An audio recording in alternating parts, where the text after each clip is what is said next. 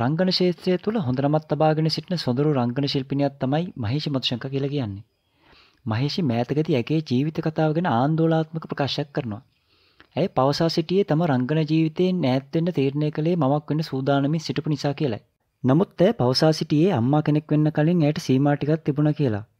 උදාහරණයක් වශයෙන් රංගනයේදී ලිප් කිස් එකක් දෙන්න අකමැති බවත් ඒ වගේම ඇඳුම් සම්බන්ධයනුත් ඇයට සීමා තිබූ බව ඇය පැවසුවා. මෙම සීමාවන් නිසාම ඇයට හොඳ වැඩ ගොඩක් අහිමි වූ බවද ඇය පවසා තිබෙනවා. ඇය අවසානයේ තවදුරටත් ප්‍රකාශ කර සිටියේ මෙම සෑම දෙයක්ම සිදු කරන්නේ ඇයගේ ආදරණීය සැමියා වෙනුවෙන් බවය. මේ ඇයගේ සොඳුරු දසුම් පෙළයි.